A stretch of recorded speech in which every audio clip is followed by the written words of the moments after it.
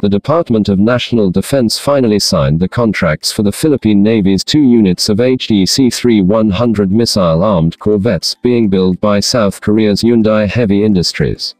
The Corvette Acquisition Project Lot 1 platform and launchers is part of the Horizon 2 phase priority projects of the revised AFP modernization program, procured under government-to-government negotiations with the government of South Korea and Hyundai Heavy Industries.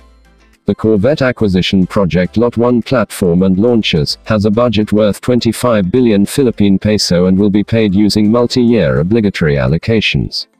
The Department of Budget and Management released the special allotment released order three weeks ago, worth 3.75 billion Philippine peso or 15% of the total approved budget for contract.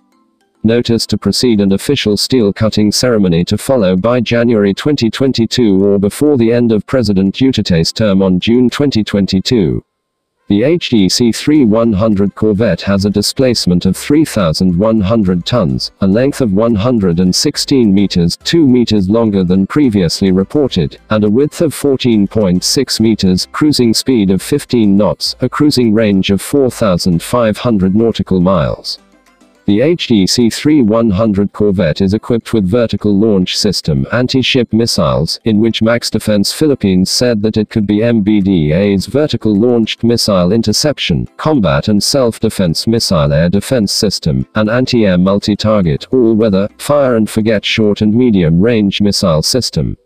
The HDC-3-100 Corvette is also equipped with a 3D active electronically scanned array radar for its anti-aircraft detection capabilities.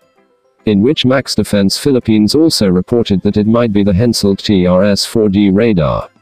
According to Hensoldt, Hensoldt TRS-4D radar is the latest member of the C-band naval radar family based on the most advanced gallium nitride active electronically scanned array sensor technology with multiple digitally formed beams. The HDC-3-100 Corvette will be the first naval ship bought by the Duterte administration for the Philippine Navy, although the two Jose Rizal-class frigates contract was signed under the Duterte administration, it was officially part of the Horizon 1 phase of the revised AFP modernization program.